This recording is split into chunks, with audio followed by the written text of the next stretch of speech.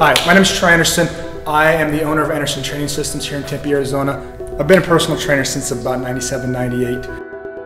Breezing is a great, great unit for producing really accurate metabolism readings on a more consistent basis, on a more accessible basis, not only from a testing standpoint, but also from a physical standpoint, both for you and the client. The essence of our work in regards to breezing is to see what kind of measurable effect, both from REE standpoint, but also momentary standpoint, some of the protocols and being able to program that equipment optimally for whatever client result you're looking for, whether it's a performance side and you're trying to increase some strength, mobility, performance, or your fat loss, or you're working with an older population that might just need longevity in the future, keeping muscle strength and metabolisms on their bodies.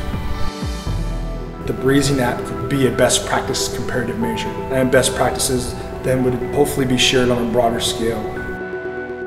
Gym should be a place where we do things that we can take outside the gym and vet them on whether we've done good or not. And good being completely individual. Whether you ride bike, whether you play with grandkids. We need to be able to have a comparison or some kind of feedback loop outside the gym that tells us that what we've done in here has made our life better.